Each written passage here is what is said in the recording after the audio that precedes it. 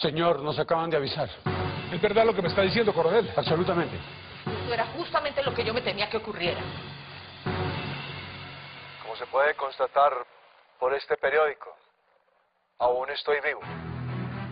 Toda la información que ha dado el gobierno es absolutamente falsa. ¿Pero cómo es posible que ese bandido esté hablando en la televisión nacional? ¿Por qué no conocimos antes que los periodistas ese video? Comuníqueme inmediatamente con el director de ese noticiero. Cuando logré jugarme de la cárcel, fingí mi muerte. Y no solo me creyeron ustedes, mi país, sino el gobierno y mi propia familia, quien me enterró y me lloró. Ay, María Pedro, ¿qué estás haciendo? Y realmente tuve todo el propósito de mantenerme muerto, de dejar de ser yo, Pedro Pablo León Jaramillo, el capo, y convertirme en otro, tal vez en un mendigo por las calles de la ciudad, sin nombre, sin pasado, no ser nadie, dejar de traficar, de matar, de cometer crímenes.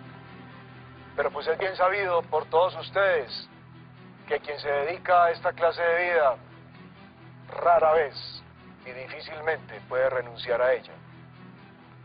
Y en el mundo en el que yo he vivido, cuando muere un capo, inmediatamente surge otro. Y esta vez no es la excepción. Solo que hay un pequeño detalle. Quienes vienen detrás de mí no esperaban que yo estuviera vivo. Y ahora que se enteraron, quieren mantenerlo oculto, tal vez para asesinarme en silencio. ¡Deje de hablarme de primicias, hombre! Este es un asunto de seguridad nacional. Solo por esa razón, Pues debió haberlo consultado con el gobierno antes de tomar esta para decisión. decir que estoy aquí, que no me he rendido, que sigo en pie de guerra. Pero mi guerra no es contra el país, contra ustedes, contra la gente. Ese problema es suyo. Y le repito, me suspende inmediatamente esa transmisión. Es una orden. Mi guerra es contra un gobierno corrupto, un gobierno que le ha mentido al país, encabezado por el mismísimo... ¿Qué pasó? Lo cortaron. Ofrecemos disculpas a toda nuestra audiencia, pero fallas de origen nos impiden seguir con la transmisión del video. Cuando se haya restablecido la señal, volveremos a emitirlo. Como si uno se fuera a comer ese cuento. En este país de borregos camino al matadero, Tato.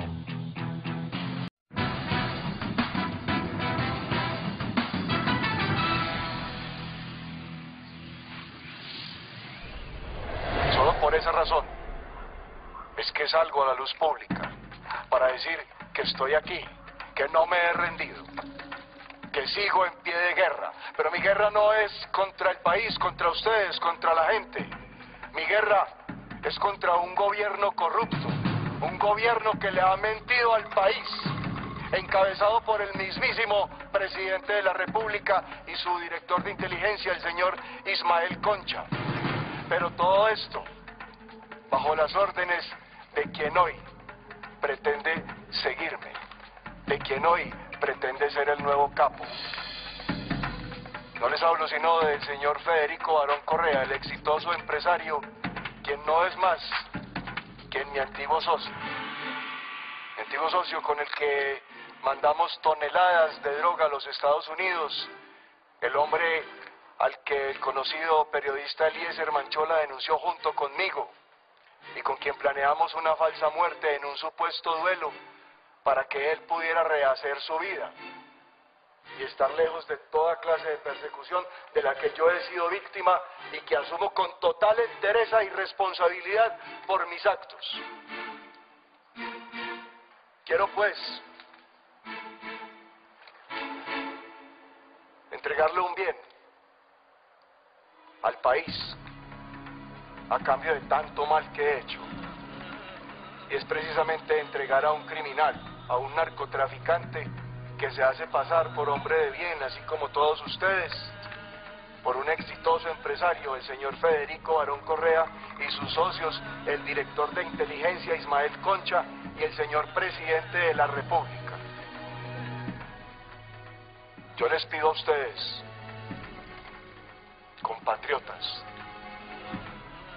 llamen a estos hombres a rendir cuentas. No me quiero ir sin antes dejarles una pildorita. Votar es abdicar, es elegirse un amo. Y darse un amo es más vil que soportarlo. Quedaré atento a lo que pase para saber qué acciones debo tomar. He dicho. ¿Quién es ese tal